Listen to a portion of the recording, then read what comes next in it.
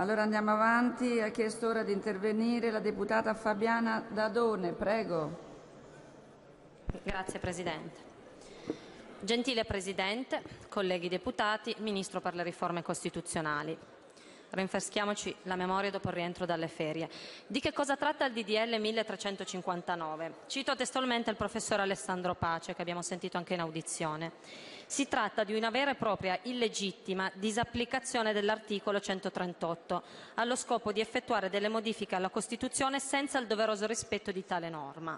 Ma come si fa a proporre una deroga dell'articolo 138? La norma è quella che di fatto garantisce la nostra Carta Costituzionale, il muro di contenimento dell'arbitrio del potere politico, specialmente quello delle maggioranze di governo.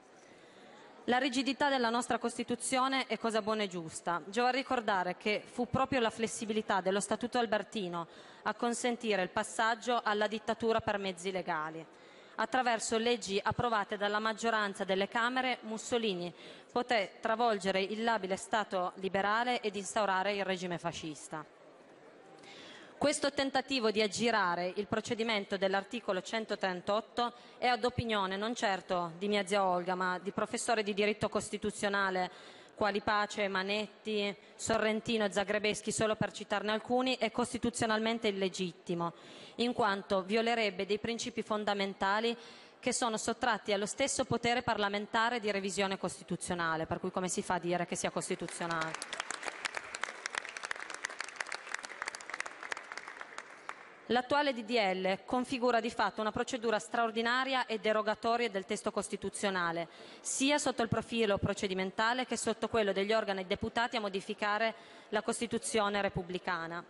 I profili di legittimità del provvedimento in esame sono molteplici e riguardano non solo le leggi costituzionali, ma anche i principi e le norme procedurali disposte dai regolamenti parlamentari.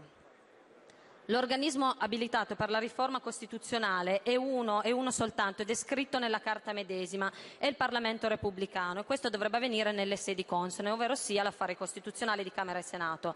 Con questo DDL invece che cosa capita? Che vengono, viene investito un comitato di 40 tra deputati e senatori e la domanda che ci poniamo è che cosa dovrebbero fare nel frattempo gli altri deputati della Commissione Affari Costituzionali di Camera e Senato. Che dire poi del cronoprogramma dei lavori, che oltre a comprimere il tempo dei lavori, che di fatto dovrebbero concludersi in 18 mesi, per cui alla faccia dei tempi lunghi, riduce il termine di tre mesi tra la prima e la seconda lettura a 45 giorni, escludendo il senso voluto dai padri costituenti, ovvero sia avere un tempo per riflettere su delle manovre di tipo costituzionale tempo per riflettere. No, qua si dice no grazie al tempo per riflettere perché ci sono 69 articoli della Costituzione da modificare su 139 derogando il 138.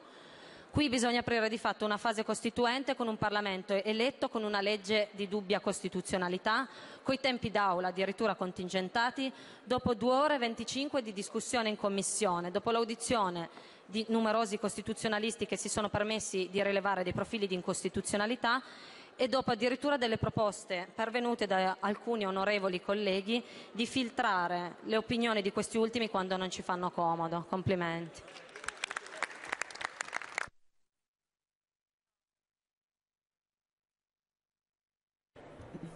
La ringrazio.